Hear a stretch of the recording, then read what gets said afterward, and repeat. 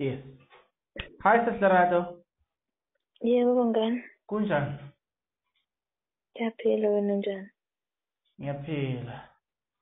Um, do you consent that I record this conversation for the purpose of uploading it as an update to my channel called SA Infotainment Podcast only? We can record and you can upload it. Thank you very much. Uh, okay, you know what? Let's just go straight to the point, right? Uh, Advocate Teffo was supposed to appear in court on the 29th of April 2024, right? But then, um, if I'm not mistaken, he was there was a case that was happening online. Yeah, yeah, things have happened. So I want us to talk about all of those things. So let's first talk about things that happened during the week. We'll get back to the local. We'll get back to the story of what happened today. Two things, two major things that have happened today. Uh, advocate for being moved from Mampuru to where? Sislerata will explain that. Sislerata, take us through. Let's start from last week. Yes, uh, last week the, on Thursday, they helped me with the date, Bongani. What was the date on this on Thursday? Twenty five. Yes, you are right. Twenty fifth of April, two thousand and twenty four. Yes, twenty fifth of April, twenty twenty four. There was a court hearing, and this has to do with the LPC, the striking off case. There's an appeal on it. So this is what was happening on Thursday. Uh, not a lot because it was it was virtual. It was virtual. I managed to attend it, but it didn't really take that long because uh, there was some misunderstandings between the uh, Mr. Defo, which is my husband's uh, senior counsel, and the Judge Nyati, who was presiding over with uh, acting Judge Bukako. If you remember, those are the two judges who handed down the striking off um, order in 2022 on the 16th of September. Yes, I'm pretty sure people were not aware that there is an application for appeal on that one. Okay. So it didn't really, they didn't really uh, continue as expected, but then the uh, it has been postponed sine die. Synody means uh, until further notice. They will let us know as time goes what is going on. So, in a nutshell, that's all that I can say on what happened. But there is an appeal on actually both uh, orders, both uh, verdicts of the striking off and the contempt of court. If you remember, there was a, a judgment of contempt of court where uh, Mr. Teffo was uh, found guilty. That was last year in October of the contempt of court where the contempt was he appeared at the Senzo Meyiwa matter last year.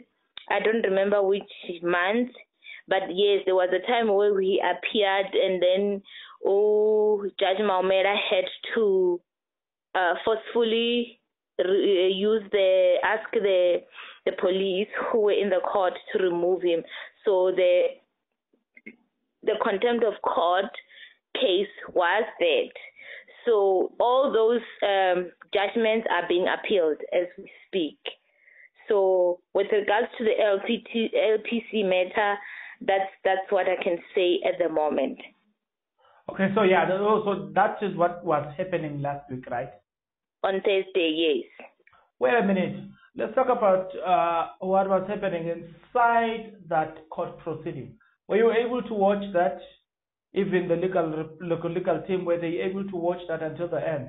What happened? Oh well, uh, I managed to watch the first part, and then uh, while it was going on, I had to pause. But then there was an altercation that was happening between the judge and the some misunderstandings. So I had to answer another call on my side, so I had to pause. But just few minutes uh, after that, the court adjourned for tea. But then when I had to go back and continue watching, we couldn't go back. There was nothing. There was no connection. I don't know what was happening. Even the attorney had to call me and ask me if. Uh, I'm online. Am I, am I, am, I at, I'm in the court or what's going on, obviously visually. And I said, no, I can't go in. And then he also couldn't go in. So there was a kind of a misunderstanding of what had happened. And then after, that's when we got to realize that uh, it didn't really go well. So they had to adjourn. But the, them adjourning, it was uh, every decision to adjourn, the attorney was not available, you were not available. I was not available. I was, the attorney was not available. So, how yeah. do you have a case that is considered to be fair when one's attorney is not there? Well, maybe uh, it, one that is arguable because the the senior counsel was there and the the junior counsel was also there from our side. So they can communicate, but the fact that uh, the attorney ended up not being able to go back and attend and I couldn't see what it was happening as well. It's kind of a bit sketchy, but uh, we will see what happened. We'll see what happened. We don't really have know why we were cut off or whether there was uh, some technical issues. But what I know is that the the court proceedings did not really continue. They had to adjourn. Mm. Okay, fine. Just moving forward. Yeah, boy. Okay, yeah. Let's move forward. Then let's come to the season. I mean, sorry, this Saturday. What no, no, no, no, Saturday, man. Uh, today, today, in fact. Today is Monday. Yes, today. Yes, if you remember last week on the 24th of April, my husband appeared in Court 62 where he was granted with bail. It was paid off, everything was done. And then when he was about to be released, the correctional service officials uh, blocked or stopped his release because, according to them, reason being that he had to appear in Magistrate Court Johannesburg today, the 29th of April. So uh, it is still questionable how it happened because uh, in the first place when you are incarcerated or someone is incarcerated and you are under the care of a correctional service you are taken there because of your case and the police. They don't just take you and and incarcerate you. The police are responsible for that. Their job is just to take care of you in their facility.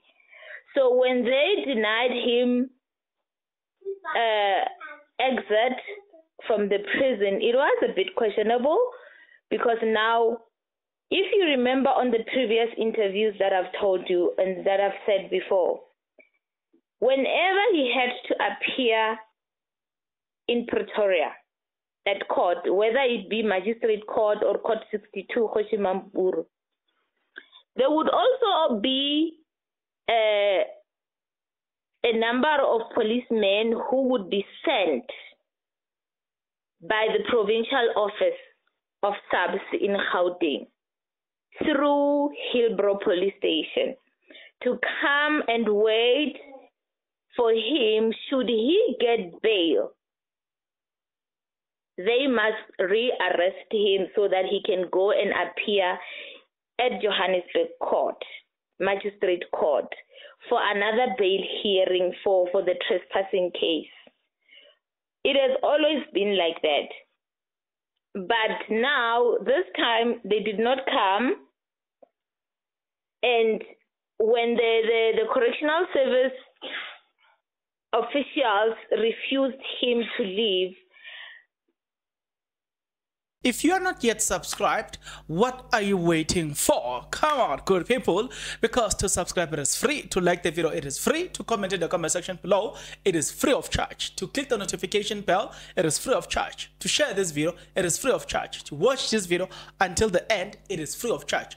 Also, good people, I mean, come on, to watch the ads, it's free of charge, and that's how you financially contribute to this YouTube channel. Speaking about financially contribution to the channel, you can join, become a member of this YouTube channel from as little as 20 Rand a month. You can also uh, use the super thanks button. In case you don't want to do that, guys, there is a way where you can use my media company banking details to donate to the channel. And you know what I'm saying? Will bring you more and also guys want to buy more equipment. So the power is in your hands. Please do the honorable thing as we proceed. We had to ask ourselves okay if this is the situation why did the correctional service not alert the SAPS from Johannesburg or from provincial uh, office because they they they they, they get the mandate from the pro, uh, provincial uh, uh, office that your person has been released from this site. Now you have to take over. So I, I didn't really understand. Maybe because I'm a law, I'm not a lawyer. There are some of the things that I may not understand. Maybe someone can have a better explanation legally so that why was he kept at Kgoshi Mampuru from Wednesday up until today on the 29th in the morning. Because by the way, when you when he leaves court, if he's not uh, being released, a magistrate will issue a document called a J7. A J7 is a document that uh, shows that you are not going home, you, you are still in custody. But then in this matter, he was granted bail. And the magistrate had made it very clear that the Joburg matter has nothing to do with the Pretoria matter. And in the first place, the reason why he was in Kgoshi Mampuru is because of the Pretoria arrest, not the Joburg arrest. Mm. You see, so now I was expecting them to come and rearrest him or requisition him to their side since he is their accused. But then now tell me from Wednesday up until today, on which document, on which J7 was he kept at the prison with? There was no document that kept him in prison during these days. So Kgoshi Mampuru kept advocate Teffo uh, illegally in their look in their look uh, in their premises. According to me, it, it, it, that is how it is. Maybe I'm wrong. Maybe I could be wrong. Uh, maybe we can get an, an, a legal explanation. But for me, it does not make sense. What would have made sense to me was for them to come and take or requisition their accused and take him to to to to Joburg. Mina, I'm saying, I'm seeing J advocate there suing them for the days he spent there. That's it. Because I seriously, I don't see the reason. Uh, you you can't keep a person without a paperwork. Full stop. There's no way you can keep a person without a paperwork. If the paperwork says he must go, he must go. And again, okay, one would say, okay, on the previous few weeks that he's been appearing in Joburg uh, and coming back to Kgoshi Mampuru, yes, because this is where they found him. They have to take him back where they found him. So on Wednesday, why did after the, the, the Pretoria matter was done and the bail was granted and paid for, why didn't they come and take their accused to to Joburg because this is where the, the, the case is. It's not in Pretoria. Hmm. And there was a, no a J7, there's no a J7 that was signed by the magistrate that he should be kept at Kgoshi-Mampuru for these days up until he appears for the Joburg matter on Monday. There was no such thing. Hmm. Eh, in fact, he was given liberty. Go home. Yes, according to the magistrate, the magistrate granted him bail as a free man. And then uh, certain individuals said, no, we are in charge of you, so we're not going to release you, despite what the magistrate says. Okay, so it's fine. We get it. We see it. They are proving a point that when they've got power. Yes. Why, eh, why didn't they come and, and take the accused? Yeah, it's fine. The, so, gap, the gap of those days doesn't really make legal sense for me. I'm not a lawyer, but maybe the lawyers who would tell us would know you guys are wrong. This is how it was supposed to be. We could be wrong, but according to me, it does not make sense. Neither does it make sense to me too. But we are not lawyers at the end of the day. So okay, today um, we did update people about the fact that he was to appear before court for a bail hearing. What happened? Well, uh, it was not to to be. It was not a bail hearing as we. Well, I was not surprised to be honest, because on Thursday already and Friday, uh, his his his uh, advocate went to Johannesburg to uh, kind of communicate and find a way with the prosecutors from the uh, from the Joburg side, and then there he got to find out that his case has been transferred to court 11 is it 11 8 yeah court 8 for trial Hmm. so it's the same pattern you remember last week in Pretoria before the bail hearing they wanted to ambush him with a trial. Yes, I remember. So yeah, so they were disappointed with the fact that he got legal representation, and then they had to apply for a bail. So even in Joburg today, it was the same thing, uh, but then he didn't know unless if his advocate did not go to to Joburg on uh, last week Thursday and Friday, we would have not known that these people today they wanted to start with a trial. So from what I'm hearing, um, these people have been in, have intentionally decided that they were going to pursue a trial uh, without uh, without allowing advocate Teffo to apply for a local bail. So their intention was that let's keep him behind bars and continue with the case while he's behind bars. Tell me if I'm lying. That's what I'm reading. No, that is the plan. That is that. Uh, according to me, that has always been their plan. That no matter what happens, we must find a way to keep him inside. That therefore explains why he gets moved like uh, in an unexplainable manner. He gets to be taken and things are done in an unexplainable manner because they are not happy for the man to be outside. Nevertheless, so the bail then today did not happen. So like I said, it doesn't come as a surprise if you if you are invested in the story, you are following the story as we keep updating you about the story. We are trying to make sure that every information necessary for your or for you, we will provide it. So now we get told uh, today that okay, uh, bail was this whole thing was to be moved. They were ready with the trial. Did so the bail did not take place today. No, there was no bail. Uh, they postponed the case for Friday. The third is it the third, the third of May, for a formal bail application. The third of May, to those that don't know, is on the Friday, uh, the, the the upcoming Friday. As of now, now as I'm talking to you, uh, as of us talking, it is Monday, the 29th of April, 2024.